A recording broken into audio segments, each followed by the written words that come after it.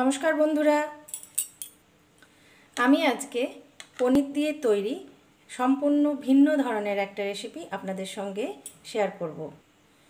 খুব সামান্য কটা উপকরণ দিয়ে আর খুব কম সময়ের মধ্যে এটা তৈরি হয়ে যায়। চলুন তাহলে দেখিয়ে দিই আমি আজকে এই রেসিপিটা কেমন করে করছি। ভিন্ন ধরনের এই পনিরের রেসিপিটা করার জন্য আমি এখানে পনির নিয়েছি আড়াইশো গ্রাম। এটা আমার ঘরে বানানোই পনির সেই জন্য এরকম আছে। এবারে এই পনিরটাকে এখন আমি দুটো ভাগে কেটে নেব।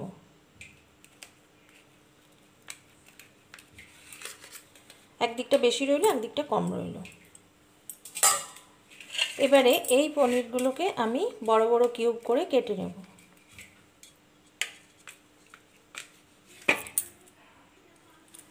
পনিরগুলো টুকরো করা হয়ে গেছে।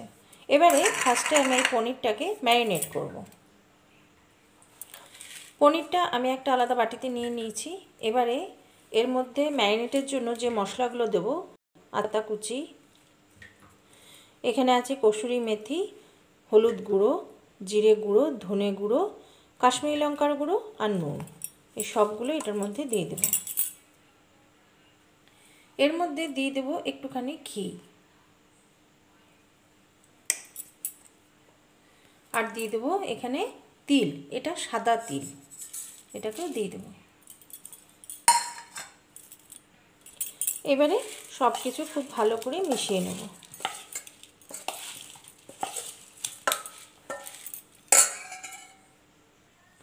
পনিরটা ভালো করে ম্যারিনেট করে নিয়েছি, এবারে এটাকে অন্যদিকে সরিয়ে রাখব। আমি পনিরের দুটো টুকরো করেছিলাম। একটা টুকরোতে পনিরের কিউব করে রেখেছি আর একটা যে টুকরো, সেইটা একটা মিক্সির জারের মধ্যে টুকরো টুকরো করে দিয়ে দিচ্ছি। এর মধ্যে দিয়ে দেবো দুটো এলাচ, ছোট এলাচ আর দারচিনি। আর দিয়ে দিচ্ছি দুধ। এখানে আমি হাফ কাপ দুধ ইউজ করেছি। এবার এটাকে খুব ভালো করে পেস্ট করে নেব। পেস্টটা রেডি হয়ে গেছে। এবারে আমি একটা কড়াই বসিয়েছি, কড়াইয়ের মধ্যে দিয়ে দিচ্ছি সাদা তেল। এই রান্নাটা আপনারা চাইলে সর্ষের তেলেও করতে পারেন। এখন এর মধ্যে দিয়ে দিচ্ছি একটা শুকনো লঙ্কা আর দিয়ে দেবো একটুখানি গোটা জিরে। এবারে এইগুলোকে খুব ভালো করে ভেজে নেব। জিরেটা ভালো করে ভাজা হয়ে গেছে, জিরে আর শুকনো লঙ্কা। এবার এর মধ্যে দিয়ে দিচ্ছি একটা মাঝারি পেঁয়াজ। সেটাকে ছোট করে কেটে নিয়েছি আর দিয়ে দিচ্ছি দুটো কাঁচা লঙ্কা।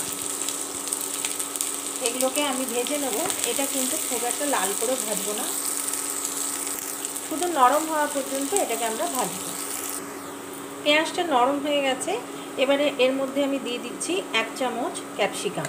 খুব ছোট ছোট করে কেটেছি আর দিয়ে দিচ্ছি দু চামচ গ্রেট করা গাজর। এই গাজর আর ক্যাপসিকাম, এটা কিন্তু অপশনাল। যদি না থাকে বা বাই চান্স যদি অপছন্দ করেন, না দিলেও হবে। এবারে গাজর আর ক্যাপসিকাম খুব ভালো করে এটাকেও ভেজে নেব, নরম না হওয়া অবধি। আমি গাজর আর ক্যাপসিকামটা দিলাম, বেশ কালারফুল লাগার জন্য সেই জন্যই দিয়েছি। এখন আমি দিয়ে দিচ্ছি এর মধ্যে বেশ খানিকটা পরিমাণে পুদিনা পাতা। সরি বন্ধুরা ধনে পাতা দিচ্ছি ধনে পাতাটা দিয়ে খুব ভালো করে মিক্স করে নেব। এটা যাতে আরও ভালো করে নরম হয়ে যায়, সেজন্য এর মধ্যে আমি একটুখানি এখন জল দিয়ে দিচ্ছি। জল দিয়ে এটাকে এক দু মিনিট আমি একদমই কম আঁচ করে রান্না করে নেব। এটা অনেকটাই নরম হয়ে গেছে, এবারে এর মধ্যে আমি দিয়ে দিচ্ছি আদা আর রসুন বাটা। এটাকে খুব ভালো করে কষে নেব। আদা রসুনটা কষাতে কষাতে যতটা সম্ভব আমরা এই স্প্যাচুলার সাহায্যে মশলাটাকে এরকমভাবে স্ম্যাশ করে নেব। সমস্ত মশলা খুব ভালো করে ভাজা হয়ে গেছে আর আমি যতটা সম্ভব স্প্যাচুলার সাহায্যে মশলাটাকে স্ম্যাশ করে নিয়েছি। এবারে যে আমরা হোয়াইট পেস্টটা মিক্সির মধ্যে তৈরি করে রেখেছিলাম সেটাকে দিয়ে দেবো। আমি এর মধ্যে একটু মিক্সি দেওয়া জল অ্যাড করছি। এবারে এটাকে মিডিয়াম ফ্লেমে খুব ভালো করে কষাতে হবে। এবারে এর মধ্যে আমি একটুখানি নুন দিয়ে দিচ্ছি।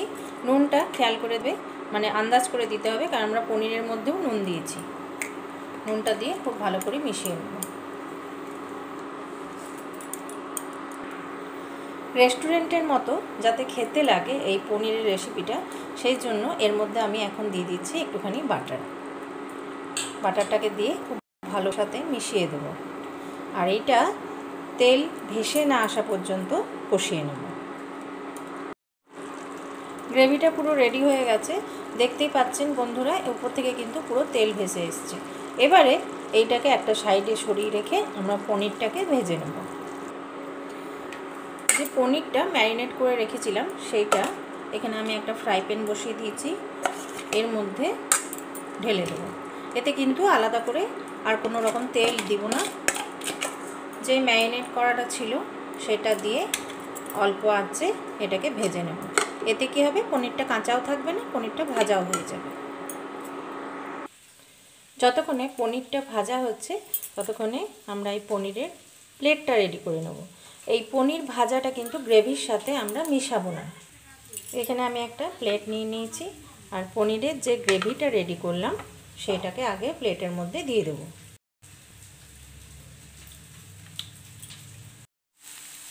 এবারে বন্ধুরা, আমি যে এই যে পনিরটাকে ভেজে নিয়েছি, সেইটাকে দিয়ে দেবো মশলাটার উপরে। যেমন বললাম যে পনিরটা কিন্তু গ্রেভির সাথে মাখাবো না মানে মেশাবো না।